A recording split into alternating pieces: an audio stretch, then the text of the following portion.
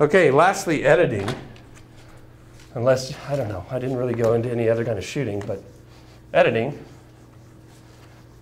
And there's so much other things, like I'm going to leave the rights for archive bit to the historians, but don't put anything in your doc you don't own or didn't get permission to, and have at least two credible sources, and Wikipedia is not one of them. the good thing is we control Wikipedia. I know my neighbors. I don't want them controlling my legal future. And then last, editing. What is editing? Editing is taking those sequence scene bit and creating that. Believe me, he had a lot more of that church. I'm sure he had the photographer being a photographer. When you go and do that as a producer, when you go shoot a scene, you don't know what you're going to use. Yeah, get the tile and the chair and the and then you end up using three shots. So there was a lot there, but you should get a lot. I think you should be you should uh, be judicious with your time and the amount you shoot. Why? Because it flows downstream. And if you shoot three hours of the church knowing full well you got one little scene, you know, you've increased your ingest time, you've increased the editor having to look at the stuff, you've increased your worrying about that you're not using stuff you shot. So there's a balance. And don't be afraid to go back. You know, that church is going to look the same as it did when the guy was there. If you need a wide shot, go back. It's really easy. Another thing I talk about shooting too is once you've decide, designed what you think the story is about, make a list of the shots you're going to need. This is really important because docs, and here's a great message that one of the students used it on the midterm, it was so cool. Um, docs, or documentaries, are not a sprint, especially when you go to state and then go to national and look for changes between that to do more work. They are a marathon because you'll be living with this thing for a long time. You'd better like your subject. Um, so I'm not going to go into editing too much. Um, feel free to email me if you have questions and once you're going, seriously, I was a series producer, I got calls all the time. So if you're in a project and you don't know what to do, or you're, you, you know, you've got five different things you're going to cut and you want advice, call me. I'm really good at doing that to somebody else's doc. Horrible at my own docs. So, but that's boothmedia at gmail.com. Do You have any questions? I mean, we really didn't talk about editing too much because I, I would probably have to have Final Cut up there, which we could do, but.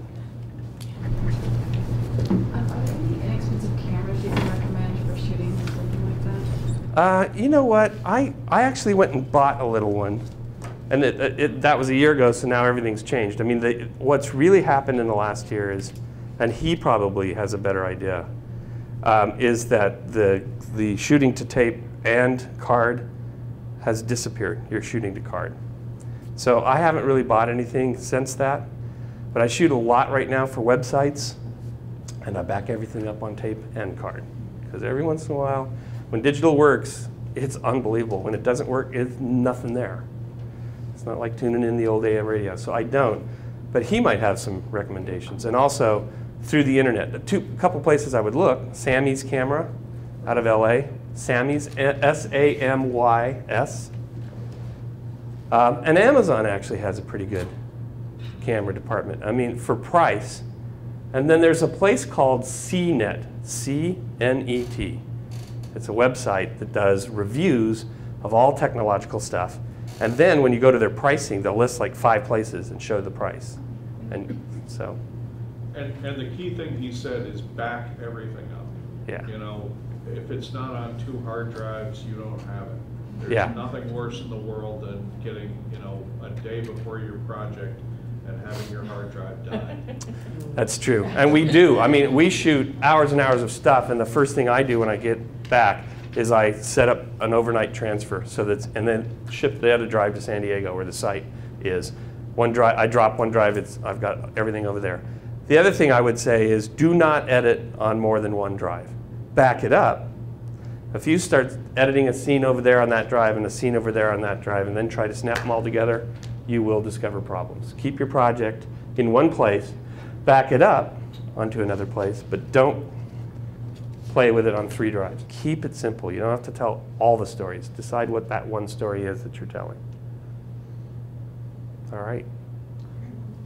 Um, what tools do you use to organize the story? I mean, do you make storyboards? Do you, That's a good and you said question. list of shots, but what other things are good ways to Um, organize? I, I'll, do- uh, I do three things. When you're looking for funding for a doc, you do a treatment. What a treatment is, and um, there are there are treatment examples in one of this book, but but I think also if you just Googled documentary treatments, you'll find examples. And the treatment is, a, at least in the one I assigned, is a three to five page document that tells me your story.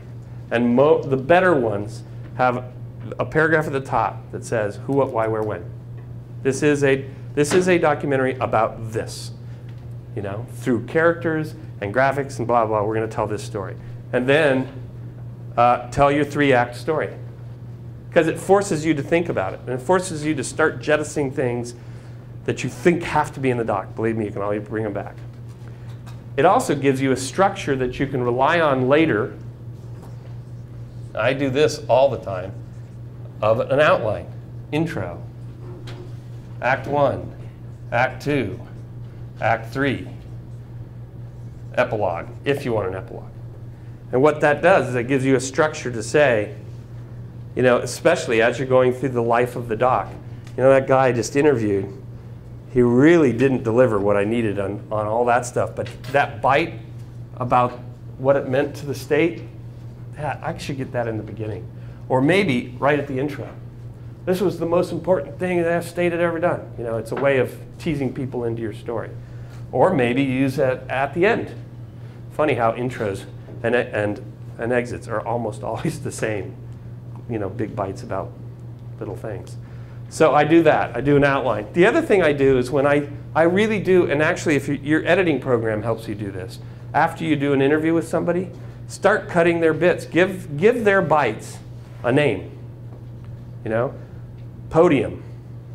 You know, whatever. So, so that that gentleman at the beginning, he had two or three bites in the whole doc.